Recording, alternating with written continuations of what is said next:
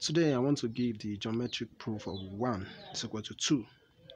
So I want to use the geometric method to prove that this number 1 is equal to this number 2. So the first thing I'm going to do is that I'm going to draw the isosceles triangle. I'll draw the isosceles triangle A, B, C. So here we have the angle A, here we have angle B, and here we have angle C. And the theorem for isosceles triangle says that the base angles of isosceles triangle are equal. That is, A is equal to B. So we have A is equal to B. So we have to write the reason. Base angles of isosceles triangle. So that's the theorem we are using here. A is equal to B. So from here, we're going to multiply both sides we'll multiply both sides we'll multiply both sides by b. So if you have to do that you're going to have a times b is equal to b times b. And a times b is going to give us ab which is equal to b times b is going to give us b square. So the next we are going to subtract a square from both sides.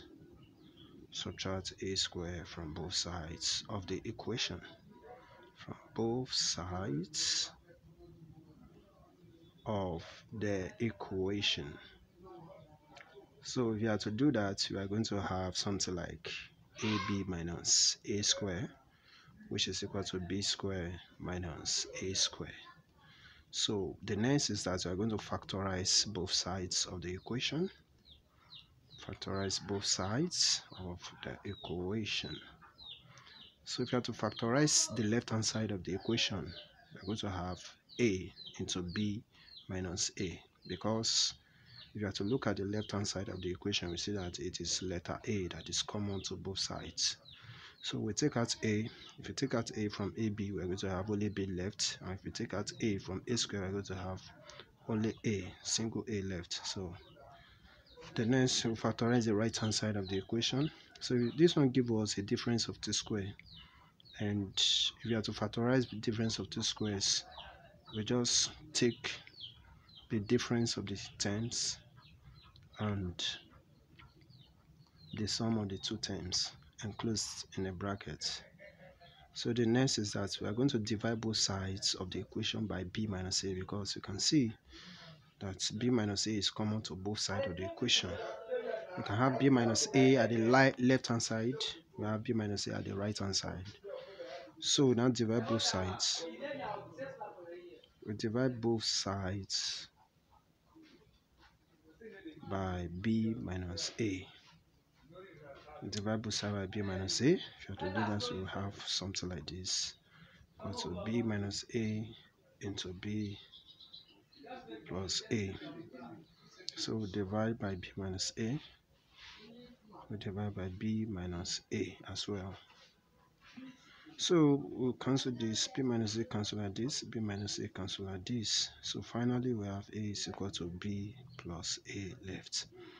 And recall that at the beginning of our derivation, we have already said that a is equal to b using the isosceles triangle theorem. So we say that a is equal to b. So in place of b, we are going to put a. So we have a is equal to so instead of writing b now, now putting a. So we have a plus a. So here we have a is equal a plus a is going to give us 2a. Alright. So we can see that a is common to both sides. So we divide both sides by a. Also divide both sides by a. If you have to do that, we have a over a is equal to 2a over a. So a cancel a is going to give us 1 and a cancel eh, a we have only two left so finally we now have 1 to be equal to 2 so the fact has been proven at this point. So 1 is equal to 2.